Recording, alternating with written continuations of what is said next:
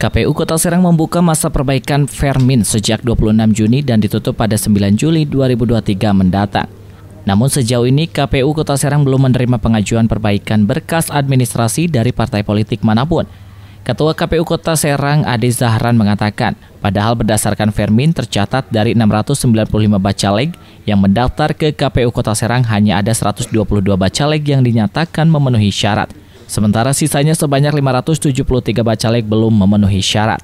Oleh karenanya, sebanyak 573 bacaleg belum memenuhi syarat itu harus segera melakukan perbaikan. Namun hingga saat ini baru beberapa partai yang melakukan konsultasi untuk perbaikan. Dan beberapa partai politik juga sudah melakukan perbaikan di Silon. KPU Kota Serang meminta agar parpol segera memberikan konfirmasinya untuk perbaikan. Namun hingga saat ini belum ada satupun partai politik yang memberikan konfirmasi untuk datang ke KPU melakukan perbaikan tapi yang konfirmasi beberapa sudah ada ya.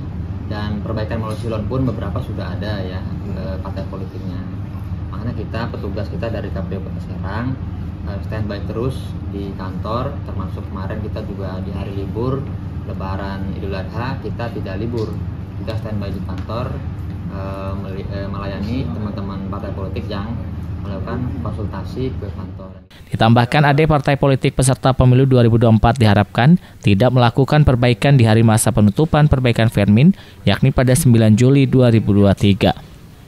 Dharma Wijaya, jurnalis Banten TV dari Serang memberitakan.